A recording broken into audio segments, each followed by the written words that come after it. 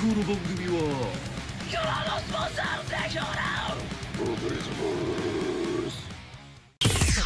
落ちたかはい、どうも。皆さん、こんにちは。えー、マイスクリーム講師です。のりさん、まほんでございます。お久しぶりでございます。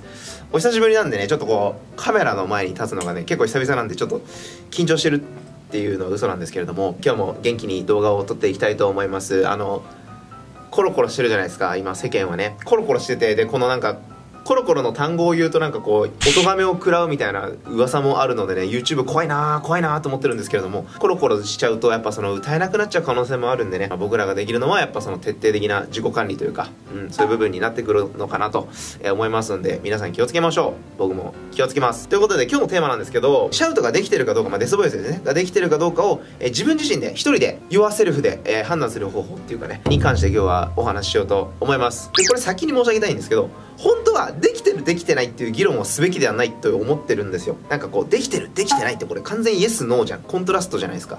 なんですけどミックスボイスとかもそうだと思うんですけど本来はうまいかそうじゃないかみたいな。あえて言うならばですよそういう議論をするべきであってできてるできてないっていうのはちょっとこうあまりにもこうね角が立つっていうかね。まあとはいえねまあ分かりやすいんで、えーまあそういった表現で今日はやりますけども。まあそういった思いも一応僕の中にはありますよということで先にお話しさせてもらいました。でですね僕あの Twitter っていうアプリをやってましてまあ先日ねこんなツイートしたわけですよ、えーちなみに概要欄に僕のツイッターの URL 貼ってますんでぜひまだあのフォローされてない方ぜひフォロー、えーよろしくお願いしますね。で、えー、とデスボイスができているかどうかの自己判断材料を、まあ、たくさんある中であえて3つ挙げるなら重要な重要な順に、えー下記の通りと、えーこれ違うかもっていう不安感がゼロ。痛み違和感がない。クリーンを操る感覚に近い。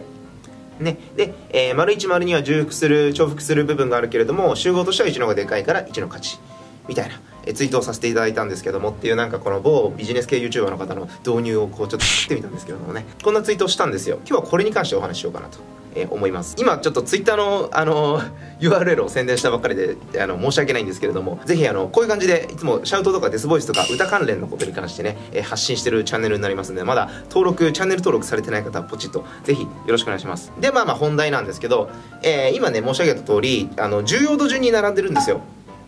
このツイートはねだからまあ3位からね3番目のところから発表していきたいと思います。でこれ以外にももちろんいっぱいあるんですけどねこの時思いついたのがこの3つでしたっていう感じです。で丸3に関してなんですけどでも正直ねデスボイスもねクリーンも正直最終的にはあんまり変わんないのよ。もう声っていうことには変わりないわけですがこの大きい声っていう集合の中にはどっちも入ってるわけなんであんまり正直変わんないんですね。上手くなってくると。なんか僕の印象としてはですよこうデスボイスってすっごい特別なものだと思ってる人がまだまだ多いのかなみたいな。なんかねすごい特別なベルタースオリジナルみたいなものだと思ってる人がすごい多いなみたいな。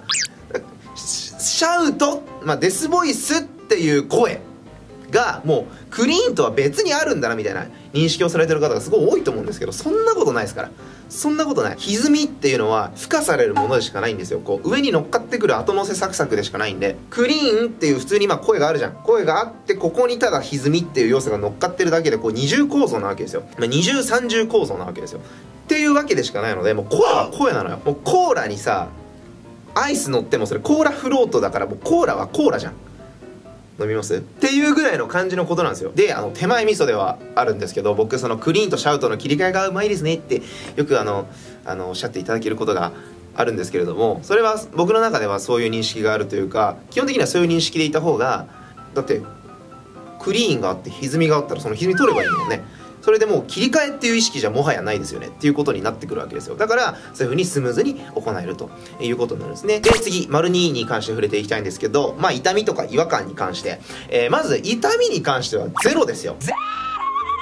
で違和感もないです。違和感もない。で違和感って何かっていうと例えるなら喉の圧迫感とかなんか引っかかる感じすんなとかなんか抜ける感じとかさだからしっくりこない感全般みたいな感じですよ。でそれらがある状態っていうのも基本的には良くないですね。あのできてないパターンが大半だと思います。あの良くない発声になってるパターンが大半だと思います。喉やっちゃわないようにあ本当気をつけてください。で、えー、栄えある第1位というか丸1番なんですけどこれちょっとなんかどうなんだろうな。っていう感覚がもうないっていう状態ね。これが最強です。もうだってこれ言ったら終わりですからね。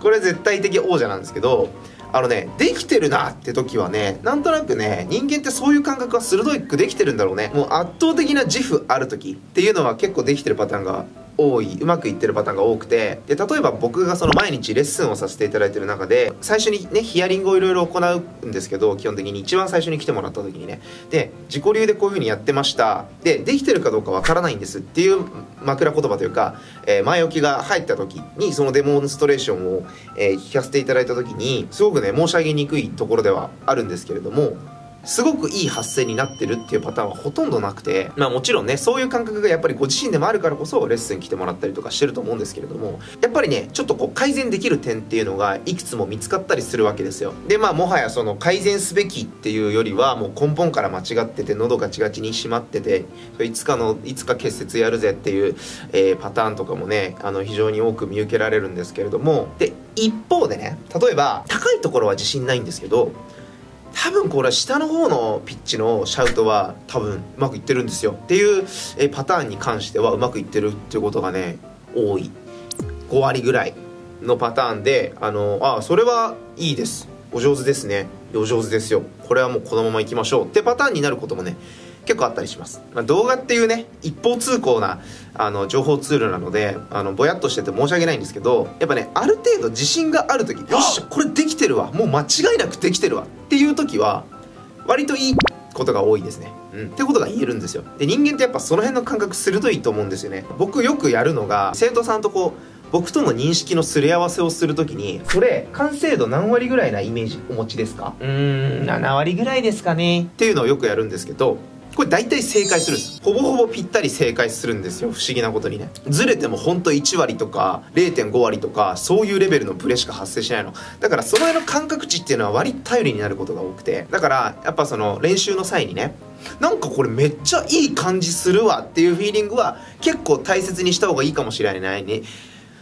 結構大切にした方がいいかもしれないねっていうあの私からのご提案でございます。っていう以上の3つになります。自分でやってると分かんないですっていうお声もねたくさんあるんですよね。まあなんで比較的簡単にご自身で判断する、えー材料をですね素材というかねを今日ご提供させてもらいましたので暗中模索状態の人はぜひぜひこの辺りを、えー参考にしていただけるといいかなと思います。だからまあこれの逆になっちゃってる人クリーンとはちょっとこれかけ離れてるな。ちょっと違う感じがするなとか。なんか痛いし痛い気もするしなんかちょっと痛くなくても違和感がなんかあるなとか。いやこれなんかちょっとちょっと違う気すんだよなとか。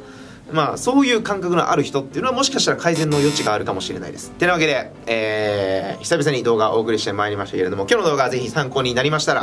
グッドボタン。とあとチャンネル登録まだお済みでない方チャンネル登録もぜひポチッとよろしくお願いいたします。ということで、まあ、本がお送りいたしました。バイバイ。